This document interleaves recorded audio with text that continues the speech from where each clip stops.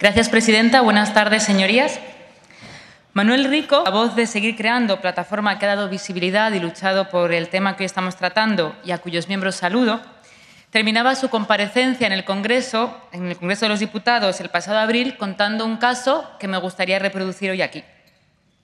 Se trataba de un autor que recibe un SMS de la Tesorería General de la Seguridad Social. Un mensaje en el que se le anuncia que ha sido dado de alta en el régimen de trabajadores autónomos. El autor en cuestión no había hecho ninguna alta voluntaria. De hecho, el autor en cuestión estaba jubilado. En tesorería le explican que constan datos de trabajo remunerado a la vez que está cobrando la pensión y como consecuencia debe devolver la pensión de dos años, además de ingresar las cuotas de autónomo con recargo por retrasos de 2011 y de 2012. Este profesional jubilado fue penado a pagar 80.000 euros por haber sobrepasado en 1.000 euros en un año y en 2.000 euros en otro año el salario mínimo interprofesional, que es el límite para compatibilizar el cobro de una pensión con la continuidad, con la continuidad de la vida activa. Desde 2013, cualquier profesional de la creación mayor de 65 años tiene que elegir entre dos posibilidades, abandonar su actividad creativa o eh, contribuir a su propia subsistencia. Puede elegir entre cobrar, su, pensión, renunciando entonces a percibir una retribución por un trabajo, eh, una actividad remunerada y los derechos de autor de su obra, o puede seguir produciendo y percibiendo los derechos que le corresponden, pero entonces tiene que renunciar a su pensión. Este asunto que hoy debatimos aquí y que ya fue objeto de discusión y aprobación en el Congreso de los Diputados a iniciativa de Podemos, está estrechamente vinculado con una cuestión de carácter general, que es la de qué sucede después de la vida laboral, pero la continuidad de la vida activa. Ya sabemos que con el paso del tiempo se ha producido un aumento de la esperanza de la vida y la mejora de condición física de nuestros mayores. De hecho, en su momento, el Pacto de Toledo elaboró unas recomendaciones en las que se invitaba a avanzar en la dirección de compatibilizar pensiones y empleo remunerado. Bien, en 2013 llega el Gobierno del Partido Popular con un Real Decreto Ley que supongo que, como ustedes saben, es una de las figuras menos democráticas de nuestro sistema parlamentario, y establece medidas para promover, paradójicamente diríamos, el envejecimiento activo. Es entonces cuando comienzan los problemas, sobre todo para los creadores. En virtud de este texto, se permite a los jubilados cobrar la pensión y trabajar cuando los ingresos generados por esta actividad sean menores al salario mínimo interprofesional y percibiendo únicamente el 50% de la pensión. Si un artista o creador quisiera acogerse a esta jubilación, en el caso de que le compensase, lo cual créanme es bastante improbable, no podría hacerlo. No podría hacerlo porque para ello es necesario tener una vida laboral completa. Y en el caso de los artistas, creadores y el resto de trabajadores de la cultura, acumular 10, 15, 20 años de la seguridad social no es nada sencillo. La intermitencia en los trabajos de la creación supone que en las mayorías de los casos no se cuenten con largas carreras de cotización. Pero es que, en el caso hipotético de que pudieran acogerse a esta opción, no les compensaría, porque la mayoría de los autores perciben pensiones entre 400 y 800 euros, ya que siempre han cotizado por el mínimo debido a la incertidumbre de su actividad laboral. Si a la reducción del 50% de la pensión se le suma el pago de la cuota de 275 euros de autónomo, no es difícil comprender que sean muy pocos los autores que se hayan acogido a la jubilación activa. Y esto, permítanme, es una pérdida para todos.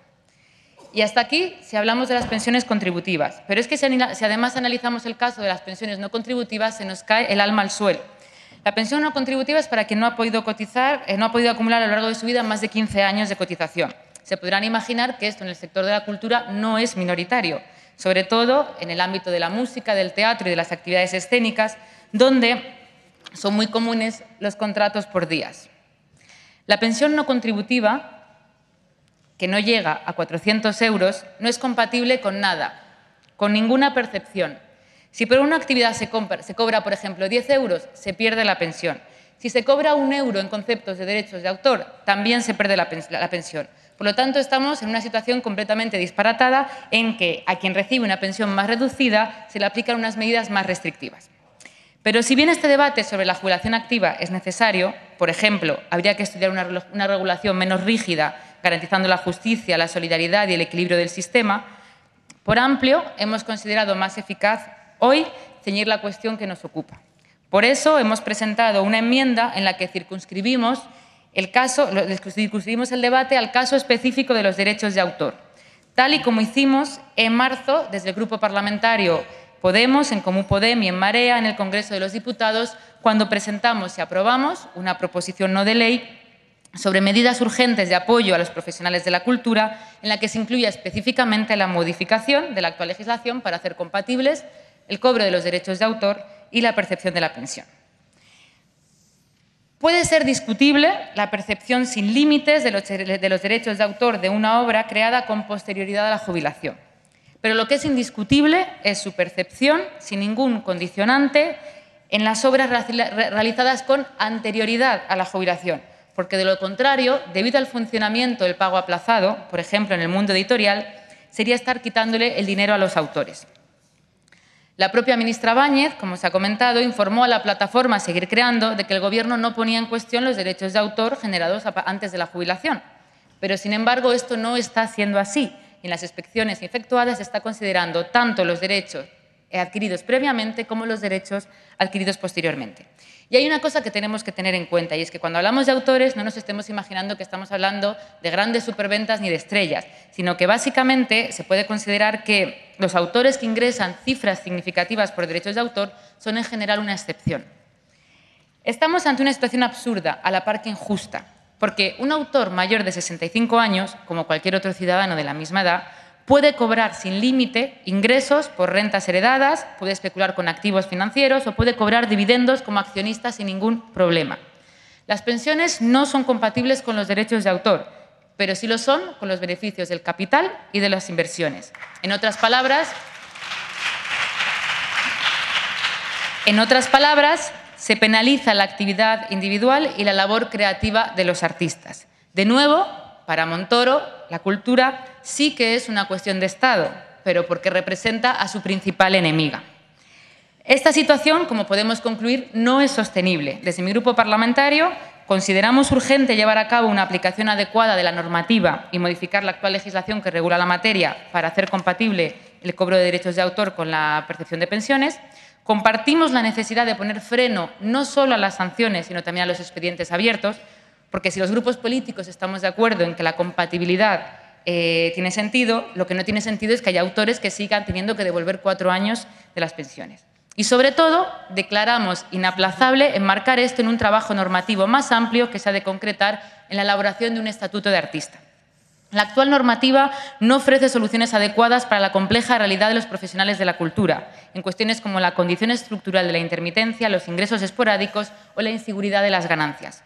Por eso es necesario, y así lo defendimos tanto en nuestro programa electoral como en el Congreso de los Diputados, la elaboración de un estatuto del artista. Quería aprovechar que están representantes de la Unión de Actores aquí para agradecerles el trabajo que han hecho en esta materia y que nos ha sido de gran utilidad. Un, estatuto del artista y del profesional de la cultura. En esto ha consistido nuestra segunda enmienda a la proposición del Grupo Socialista y que lamentablemente no ha sido aceptada.